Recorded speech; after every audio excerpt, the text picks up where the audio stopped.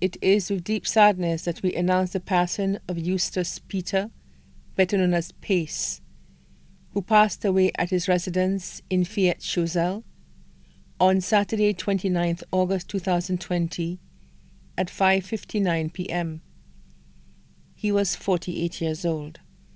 The funeral service for the late Eustace Peter, better known as Pace, will be held on Thursday 24th September 2020 at Our Lady of Lourdes Catholic Church at 3:30 p.m. Then to the Choiseul Cemetery for burial. The body now lies at Crick's Funeral Home in River Dorée. Roll will be leaving Bruceville Vieux at 2:30 p.m. to transport persons to the service and back. Persons should adhere to all COVID-19 protocols. The family thank all well wishers, but they would like to mourn in private after the service.